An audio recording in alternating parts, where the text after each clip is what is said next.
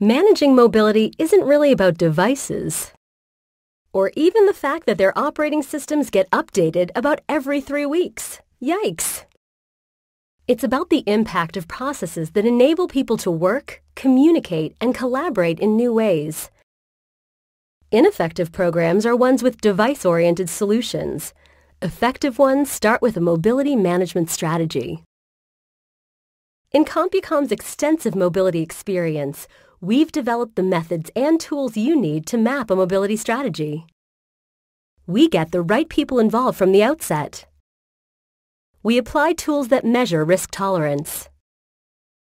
To optimize the balance between the productivity you gain by incorporating mobile technologies into your workflows and ensuring that you can maintain the governance and compliance of your critical business data.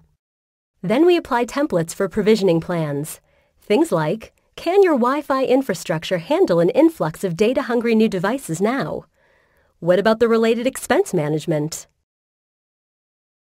Hardware management is especially challenging when much of the hardware doesn't even belong to IT.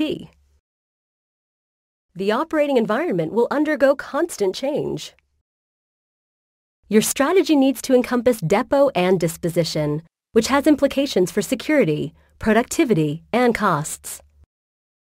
CompuCom is a leading provider of all these services. We can speed implementation of your mobility strategy. By integrating our industry-leading end-user enablement and service experience management solutions, you can deliver a personalized service experience to your mobile users and at the same time gain visibility into availability, performance, and costs. Enable your users. Protect your data. You need to do both. CompuCom can help with the strategy and the implementation.